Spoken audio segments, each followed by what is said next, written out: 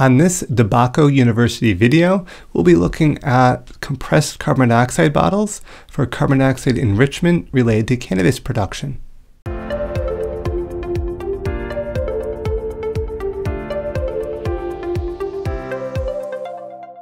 So here we see a collection of bottles and using compressed carbon dioxide bottles for cannabis production is very common practice. These are just some examples of some of the bottles that can be utilized.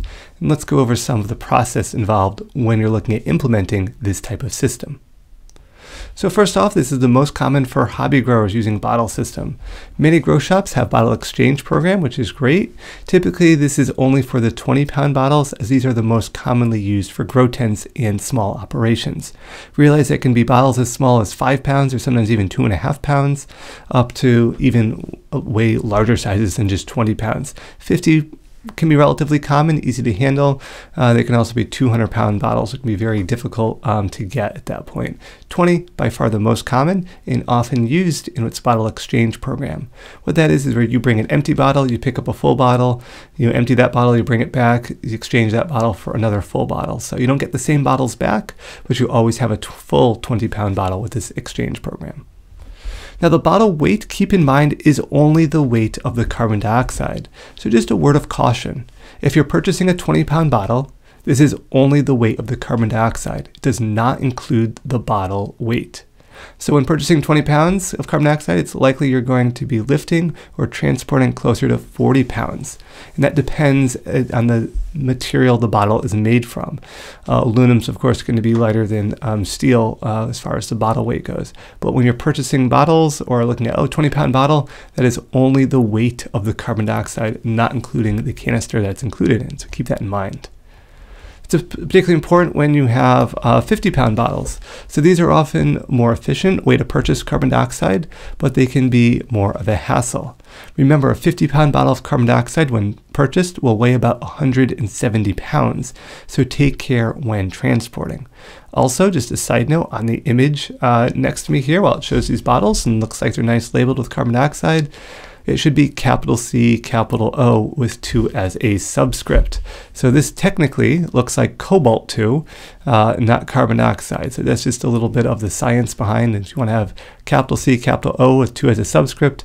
Capital C, lowercase o actually means cobalt. Just a side note there. So for size reference, uh, you know, we talk about these bottles, you may look, look at them online. Well, how big are these bottles? Aluminum carbon dioxide cylinder information is provided here and shows an average height of a person to kind of give you that idea of just how much bigger that 50 pound bottle is. Probably part of the reason why the 20 pound is so common. 20 compared to 15, even compared to 10, not all that big of a size difference.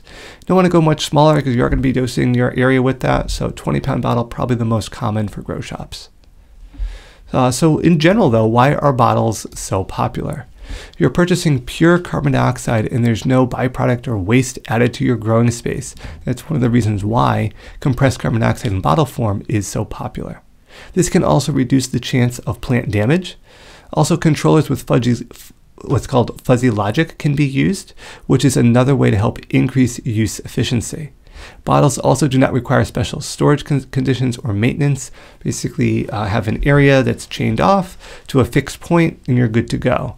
There's no not a lot of other special storage requirements that, that are needed, which make them very easy to implement into any particular grow space. However, bottle uh, danger and storage uh, related to safety. Carbon dioxide cylinders should be stored indoors uh, and should be stood upright against a wall and secured with a chain to ensure they cannot fall over and potentially damage or rupture the valve. As we can see here with our valves exposed, you also want to try to get bottles, and I'll go back for a second, that have these protective uh, coverings on them. These are the larger 50 pound bottles. You'll also notice the smaller bottles also have those. Not only does it protect this from any sort of damage, uh, it can also make for a great area to lift or to carry these bottles from. So it's, it's dual advantageous. Now back to our kind of bottle danger. The area around the tank and cylinder should be well ventilated if possible and should be monitored with a carbon dioxide safety alarm. Carbon dioxide tanks and cylinders should be stored in areas with a temperature less than 125 degrees Fahrenheit, which is 51.7 degrees Celsius. Carbon dioxide tanks and cylinders should always be connected to a reducing valve or regulator with a pressure safety valve to prevent any chance of leading to an exploding bottle, which is just not um, a safe environment for anyone around it. And also they can travel quite a distance if the regulator was to break off. So it's good to have that carrying handle slash protector. Lastly, if you do have a bottle or if you look at a bottle, uh, there will be certain markings on that bottle. So this kind of gives you just an idea of what those what seems like random numbers kind of attest to and match.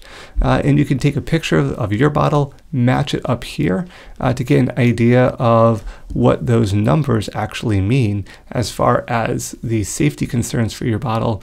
And just you know good information to be aware of that they're not just random numbers, even though they may look like it, they actually can tell you uh, quite a bit of information if you know how to read them.